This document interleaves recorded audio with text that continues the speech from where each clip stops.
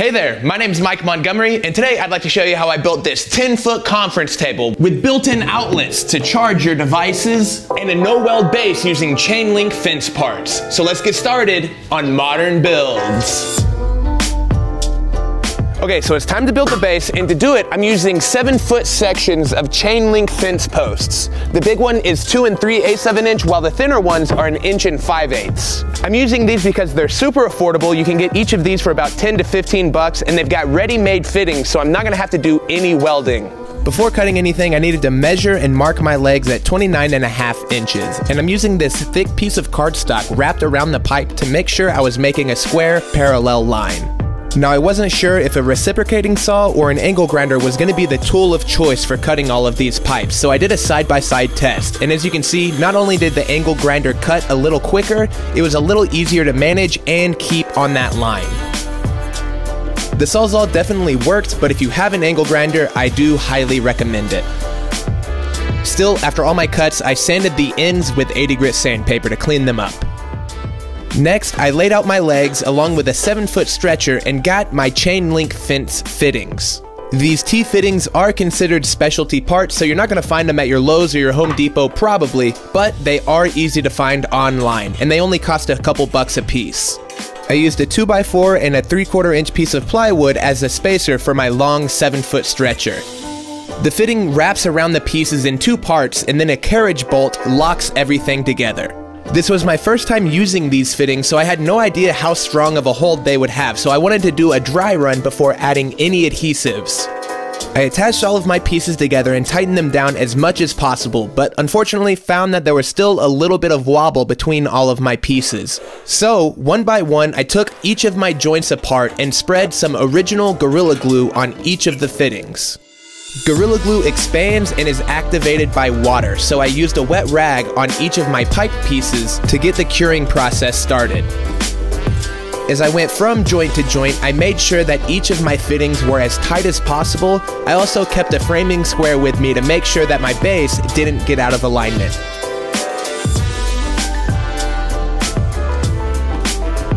After the adhesive cured overnight, I got a box blade out and I removed any of the excess Gorilla Glue by just scraping it away. It cleaned up really nicely. Then it was time to move on to paint, and before applying a couple coats of flat white paint, I applied two coats of clean metal primer from Rust-Oleum.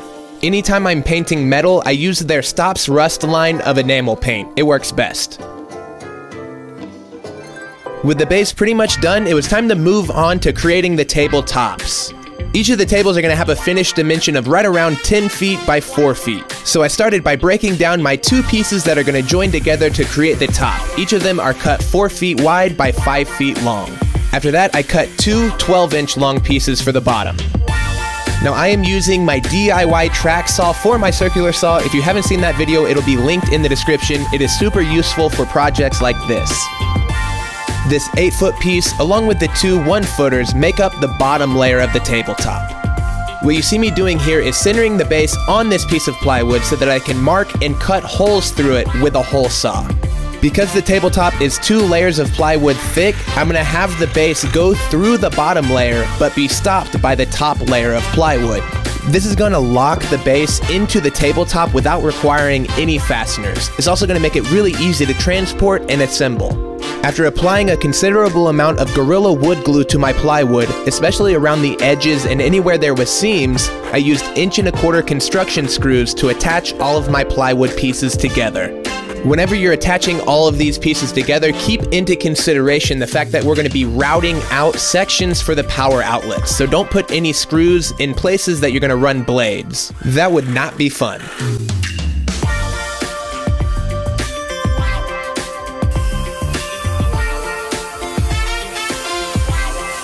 As y'all know, my DIY track saw can only cut through one layer of plywood, so I decided to freehand all of my edges square. I just took my time and I got really good lines.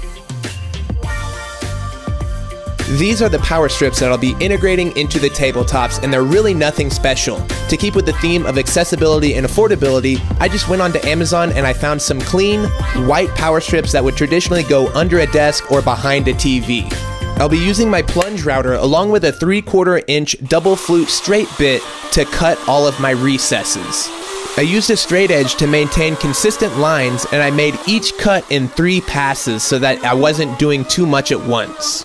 And while I do that, I'd like to give a big thanks to this video's sponsor, Squarespace. I think it's safe to say that here on Modern Builds, we are all about building things ourselves, from a coffee table to a conference table. But have you thought about building your own website? Squarespace is the one-stop shop for building your own website, bar none. Squarespace's built-in designer templates look amazing right out of the box, but what's so amazing is that it's incredibly easy to customize for a one-of-a-kind look. And I'm serious, you need no website building experience whatsoever. If you can drag and drop files, edit text and gallery blocks, you can build your own site. Long ago, before they were a sponsor of Modern Builds, I used Squarespace to create the first Modern Builds website, and I recommend it all the time. And if you are interested in doing the same, make sure and follow the link down in the description, squarespace.com forward slash modern builds. And don't forget, use the code modern builds at checkout for 10% off your first site. Thanks, Squarespace.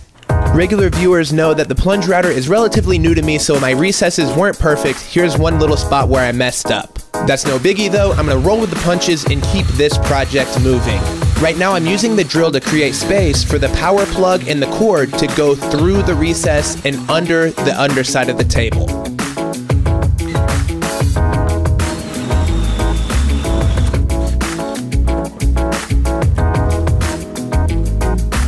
Perfect fit.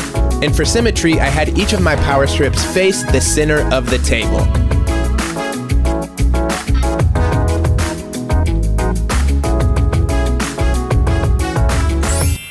All right, time to level with you. We tried to put the tabletop on the table base, and unfortunately, there was a little bit of sway in the tabletop. It was just too long of a span for this to stay rigid. In a perfect world, I would have bought more connectors and I would have been able to create a center post in the base. You can see what I'm talking about in this drawing right here. But because I had to special order the connectors and I don't have time to get more shipped to me, I've got to come up with another solution. And before I go trying anything crazy, I want to try the simplest solution first, and that is to cut some 2x4s to length and attach them as rails on the underside of the tabletop.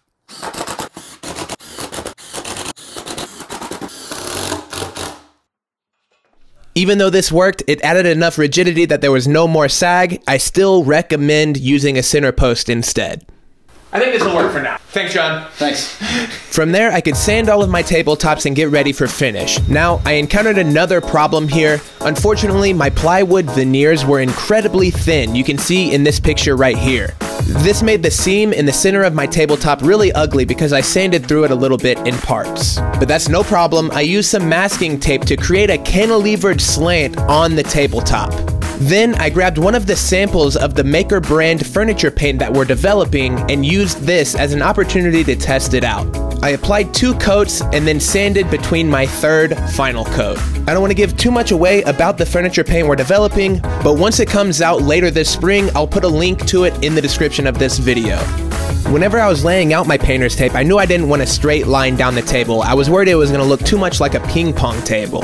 So I used the center seam of the table as reference, and on one side I measured 6 inches from the seam and the other an inch and a half. And I did the inverse of that on the other side to create a cantilevered slant, if that makes sense.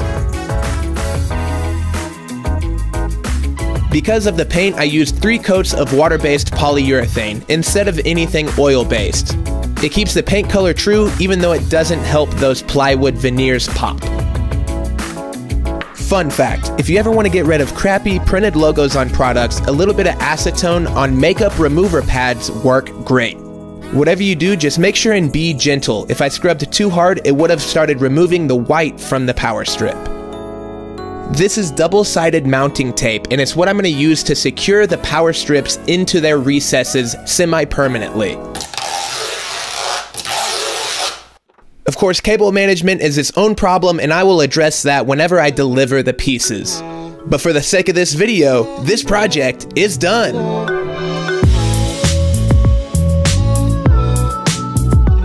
I am really, really happy with how this project came out. Once I figured out how affordable fence parts and fittings were, I knew I had to integrate them into a project somehow. And I think a huge conference table that is typically a really expensive piece is a great utilization. So that's all there is to it. I hope you guys enjoyed this video. Sorry there's not more pictures of the final piece. As you can tell, this table is almost as big as the studio that I'm taking photos in. So if you're not already, make sure and follow me on Instagram at Modern Build so that you can see these pieces when I finally get them delivered.